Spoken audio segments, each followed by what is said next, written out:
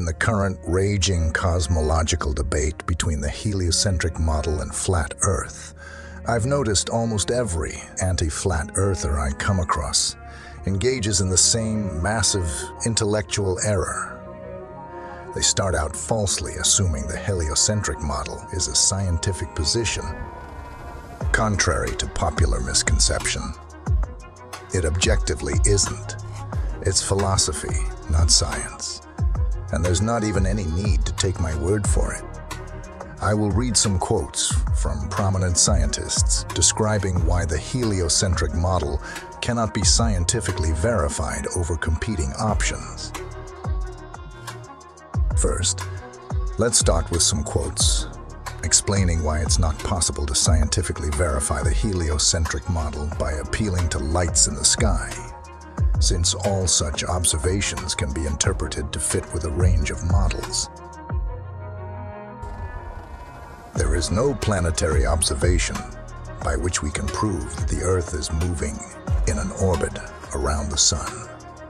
Physicist Bernard Cohen, whether the Earth rotates once a day from west to east or the heavens revolve once a day from east to west, the observable phenomena will be exactly the same. This shows a defect in Newtonian dynamics, since an empirical science ought not to contain a metaphysical assumption which can never be proved or disproved by observation. Physicist Dennis Sciama. People need to be aware that there is a range of models that could explain the observations. For instance, I can construct you a universe with Earth at its center, and you cannot disprove it based on observations. You can only exclude it on philosophical grounds. What I want to bring into the open is the fact that we are using philosophical criteria in choosing our models. A lot of cosmology tries to hide that. Physicist George F. Ellis. We can take either the Earth or the Sun, or any other point for that matter, as the center of the solar system. This is certainly so for the purely kinematical problem of describing the planetary motions. It is also possible to take any point as the center even in dynamics, although recognition of this freedom of choice had to await the present century. Astronomer Fred Hoyle. It is possible to describe the entire universe using any chosen point as the unmoving center. The Earth will do very well, and no one can prove that choice is wrong. Scientists today prefer to picture everything in motion and nothing as being the center, if you haven't given much thought to the implications of 20th century science. You may be chagrined to realize that because of the concept of relative motion, no one can prove that the Earth moves. Kitty Ferguson. Let it be understood at the outset that it makes no difference, from the point of view of describing planetary motion, whether we take the Earth or the Sun as the center of the solar system. Since the issue is one of relative motion only, there are infinitely many exactly equivalent descriptions, referred to different centers. In principle, any point will do. The moon, Jupiter, etc. So the passions loosed on the world by the publication of Copernicus's book, De Revolutionibus Orbium Caelestium, were logically irrelevant. Astronomer Fred Hoyle the Earth-centered system is, in reality, absolutely identical with the system of Copernicus, and all computation of the places of the planets are the same for the two systems. Astronomer John Dreyer. The ancient argument over whether the Earth rotates or the heavens revolve around it, as Aristotle taught, is seen to be no more than an argument over the simplest choice of a frame of reference. Obviously, the most convenient choice is the universe. Nothing, except inconvenience, prevents us from choosing the Earth as a fixed frame of reference. If we choose to make the Earth our fixed frame of reference, we do not even do violence to everyday speech. We say that the sun rises in the morning, sets in the evening. The Big Dipper revolves around the North Star. Which point of view is correct? Do the heavens revolve, or does the earth rotate? The question is meaningless. Physicist Martin Gardner. The struggle, so violent the early days of science, between the views of Ptolemy and Copernicus would then be quite meaningless. Either coordinate system could be used with equal justification. The two sentences, the sun is at rest and the earth moves, or the sun moves and the earth is at rest, would simply mean two different conventions concerning two different coordinate systems. Physicist Albert Einstein. So which is real, the Ptolemaic or Copernican system? Although it is not uncommon for people to say that Copernicus proved Ptolemy wrong, that is not true.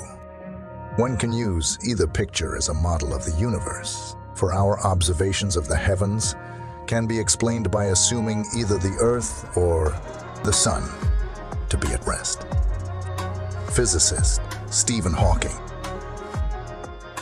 It is very important to acknowledge that the Copernican theory offers a very exact calculation of the apparent movements of the planets, even though it must be conceded that, from the modern standpoint, practically identical results could be obtained by means of a somewhat revised Ptolemaic system.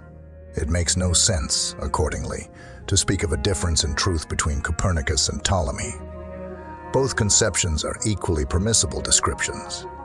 What is been considered as the greatest discovery of Occidental wisdom, as opposed to that of antiquity, is questioned as to its truth value. Physicist Hans Reichenbach. Next, here are some more quotes from prominent scientists. This time, they're covering how Earth's supposed movement has never been scientifically verified either. To the question whether or not the motion of the Earth in space can be made perceptible in, in terrestrial experiments. We have already remarked that all attempts of this nature led to a negative result. Physicist Albert Einstein. We do not have and cannot have any means of discovering whether or not we are carried along in a uniform motion of translation. Physicist Henri Poincaré the failure of the many attempts to measure terrestrially any effects of the Earth's motion. Physicist Wolfgang Pauli. A great deal of research has been carried out concerning the influence of the Earth's movement. The results were always negative. Physicist Henri Poincaré. Thus, even now, three and a half centuries after Galileo, it is still remarkably difficult to say categorically whether the Earth moves. Physicist Julian B. Barbour.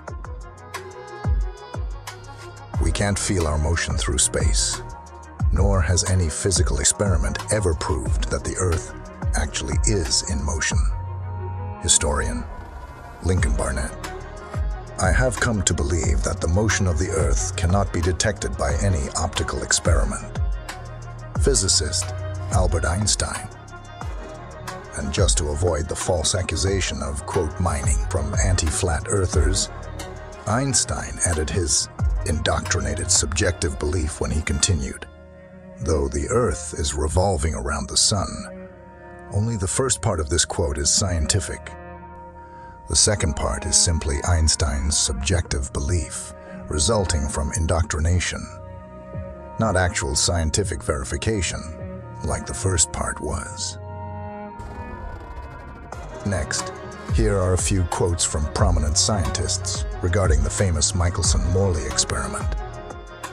This conclusion directly contradicts the explanation, which presupposes that the Earth moves physicist Albert Michelson. Briefly, everything occurs as if the Earth were at rest. Physicist Henrik Lorentz. The data of the Michelson-Morley experiment were almost unbelievable. There was only one other possible conclusion to draw, that the Earth was at rest. Physicist Bernard Jaffe. There was just one alternative. The Earth's true velocity through space might happen to have been nil. Physicist Arthur Eddington.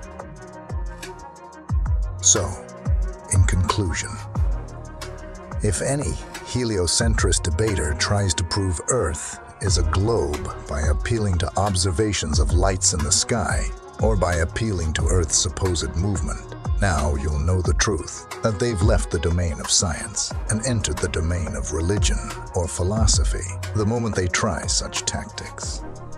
They're no longer debating science. But the real question is, why does mainstream academia present the heliocentric model as if it's science, when even their own scientists know it's not? This quote from Edwin Hubble gives some insight into the rationale behind such dishonesty. Such a condition would imply that we occupy a unique position in the universe, analogous, in a sense, to the ancient conception of a central Earth. This hypothesis cannot be disproved, but it is unwelcome and would only be accepted as a last resort in order to save the phenomena. Therefore, we disregard this possibility. The unwelcome position of a favored location must be avoided at all costs. Such a favored position is intolerable. Astronomer Edwin Hubble. Hmm. That doesn't sound very scientific now, does it? Science is objective. Any pre-existing bias is a systematic error. So, ultimately, what the mainstream scientific community is doing can't rightfully be called science. In truth, they're the scientism community, not the scientific community. But this next quote by scientist Richard Lewontin removes any doubt as to what's motivating their dishonesty. Our willingness to accept scientific claims that are against common sense is the key to an understanding of the real struggle between science and the supernatural. We take the side of science in spite of the patent absurdity of some of its constructs in spite of its failure to fulfill many of its extravagant promises of health and life, in spite of the tolerance of the scientific community for unsubstantiated just-so stories, because we have a prior commitment, a commitment to materialism. It is not that the methods and institutions of science somehow compel us to accept a material explanation of the phenomenal world, but on the contrary, that we are forced by our a priori adherence to material causes to create an apparatus of investigation and a set of concepts that produce material explanations, no matter how counterintuitive, no matter how mystifying to the uninitiated. Moreover, that materialism is absolute, for we cannot allow a divine foot in the door. Materialism is absolute, we cannot allow a divine foot in the door.